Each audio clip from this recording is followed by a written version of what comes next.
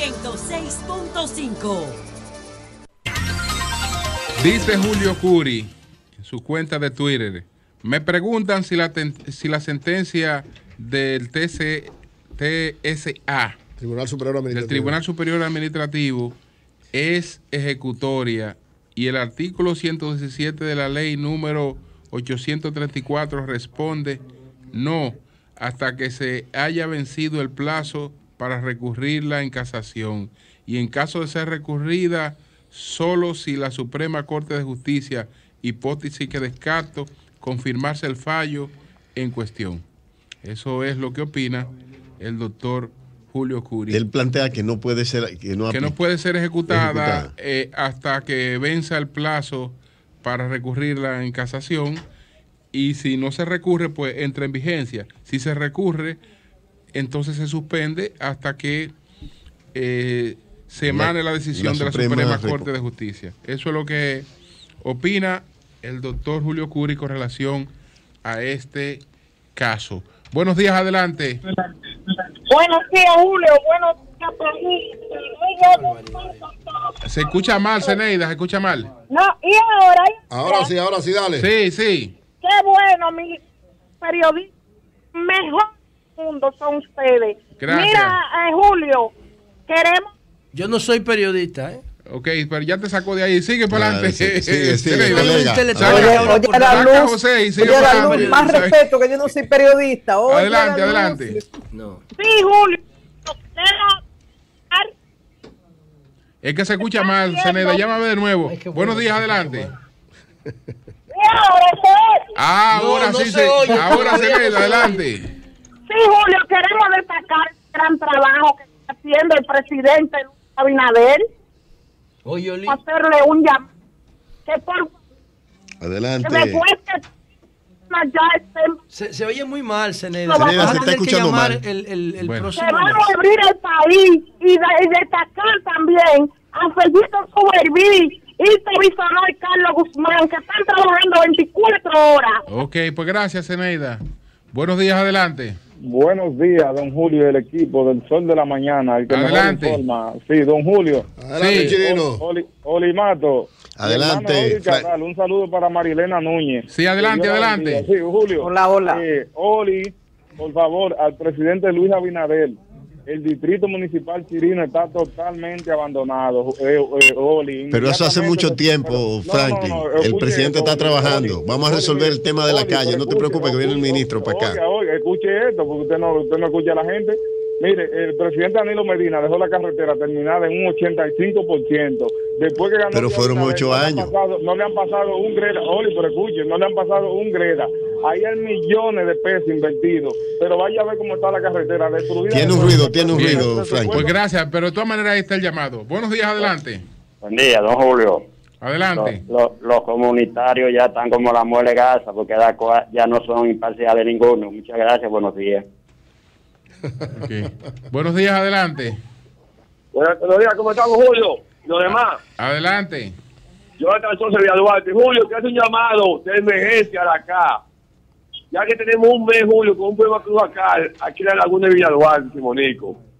Ellos dicen que no tienen un camión. Ellos han venido porque está hecha denuncia. Pero por no tener un camión, un camión para hacer trabajo, están esperando que de Boca Chica le manden uno o si no de Jaina. Yo quiero que por favor tomen esto en cuenta, Julio. Estamos ahogados en agua de aquí en Villa Duarte de la laguna. Gracias, gracias. Ahí está el llamado. Adelante, Fellito. Buenos días, adelante. Julio, buenos días desde New Jersey. Morales le habla. Morales, adelante. Julio, pero acá y analizando yo en el, el país de nosotros. Si es verdad que todo ese robo lo hizo el gobierno de Danilo, ¿y cómo era que se gobernaba el país? Entonces Haití no va a quedar nosotros más, más nosotros la corrupción. Bueno, los funcionarios se robaban la totalidad de los presupuestos que manejaban. A lo que yo entiendo, sí. Entonces, ¿cómo se manejaba el país? Sí. Bueno, pues ahí está también su inquietud. Buenos días, adelante. Buenos días, Julio Sí. Martínez Pozo, el sol de la mañana, Tito Sánchez, la conciencia de los minas. Mi Adelante. respeto para todo, para todo. Julio, Sí. Tú sabes que el señor ministro de las Fuerzas Armadas, Carlos Díaz Luciano Ferio, está construyendo escuelas laborales en diferentes partes del país, el Ministerio de Defensa. No es, no es Morfa, no es Día Morfa, Tito. Señor, mi hermano La Luz. Está construyendo, en Barahona construyó una para que los jóvenes, eh, electricidad, ebanistería, mecánica automotriz, eso está haciendo el Ministerio de Defensa y yo quiero felicitar al señor ministro de Defensa por esa obra que está haciendo en beneficio de toda la juventud del país. La- las escuelas- vocacionales de la Fuerza Ministro de Armada. Defensa. Buen Excelente- día. excelente muchas trabajo. gracias. Ahí está. Pero- pero dirigida, Ah, pero ah, construida ah, obra Ahí pública. está, ahí está, Tito. Bueno, buenos Se días, está, adelante. se está trabajando ya ampliando los servicios. Se, ah, se ah, contrataron una serie Bueno. de técnicos y se está reforzando el trabajo con la juventud. Ese era Tito, que era del PLD antes. Todo, pero todo lo Bueno, que- esos militares son dominicanos. Bueno, Los yo digo, Los interactivos Eh, José, el que está hablando era Tito, el que era del PLD. No, Y Bueno. la otra, ¿cómo se llama? Dala tranquila. Cenega, déjala No, tranquila. De nosotros. Déjala tranquila ya. Déjalo quieto que ellos tienen que vivir. Sí, sí, es verdad. Además, el Estado es de todo, no es de todo. Claro. Bu- buenos días, adelante. ¿Ustedes saben cuál es la carretera más larga del planeta? ¿Cuál? ¿Cuál? La de Chirino. Esa nunca se termina. No. Pero verdad. Ya, ya, ya, se Pero, acabaron. pero eso, Ya, no, oye, ya. vamos a resolver para decir eso. Lo de Chirino lo va a resolver este gobierno. Lo va a resolver. Es más este año. Nunca se termina. Bueno, ¿verdad? buenos días, Sí, adelante. Franklin, Franklin tiene. Tiene 12 años peleando por ahí todavía no, no- no, no Ah, adelante. Ok, adelante, sí. Martín, Buenos días a todos. Este, una llamada nueva, una llamada nueva. Ok, ok. Adelante. Ok, sí. no eh, ya, ahí. Hagan un llamado, eso interactivo, que le den un día libre a los que nunca llaman. Así es. Sí, sí, es verdad, estoy de acuerdo. Eh, no, eh, mi llamada es para lo siguiente. ¿Cuáles son los extremos de los municipios? A ver, eh, eh, ¿quién controla la rotonda del 9 y la del 13? Porque como la alcaldesa está ahora mismo en recuperación de espacios libres, yo quisiera saber quién va a recuperar eh, la rotonda del 13, porque eso empezó vendiendo mueblecitos y ahora es un despacho de materiales, goma y todo lo que eh, se pueda vender por ahí. Bueno, ahí está su inquietud. Ya los mueblecitos ahí son parte del paisaje. Eso, esos mueblecitos de hierro de no le quita a nadie de ahí. Buenos días, Sí, adelante. sí, Buenos sí. días, Julio. Sí, adelante. Santa, Santa, aquí en San Carlos. Sí. Digo yo que, que no hay que negar que el presidente Abinader Corona trabaja. Y uno se pregunta, si él hubiera encontrado este país sin crisis, sin virus, a un año de su gestión, hubiera este país de maravilla. Bueno, Santa también. Santa Ah, pero es Santa- Santa era del Pero PRD, Sa- interactiva Santa del PRD. Santa- Oye, Santa ha sido de esta mayoría todo el Pero tiempo. él ha- Ese él lo ha recogido que- todo. No. Pero ven acá. Buenos Pues está- está- eh, No, mira, está efectivo ah, ah, el departamento ah, de Se está comunicaciones. haciendo un trabajo abajo. Sí. sí. Están un días. Está- trabajo. Están trabajando, lo ha recogido a El todos. equipo de interactivo está, está efectivo. Bu- buenos días, adelante. Buenos días, ¿cómo estamos, Lo a todo. Adelante. Dionisio de Duvergé. Sí. Vamos a ver. oye, Martínez Pozo. ¿Tú estás claro o Sí. oscuro? No, porque él Yo- está con yo- Valentín. Este está con Valentín Medrano. Ah, no, este está claro, entonces sigue. No, pero no importa. yo- no, oye, nosotros no estamos Pozo. tampoco. No. Ahora, Además, oye, Santa, el, el, el PRD completo Oye, tengo- cambiaron Oye, de luz, pues. Siguen claro. Tengo- pero- Adelante. Oye, permíteme otra información. Vamos a ver. Mira, yo le voy a hacer un llamado con el respeto que se merece la directora del Plan Social de la Presidencia.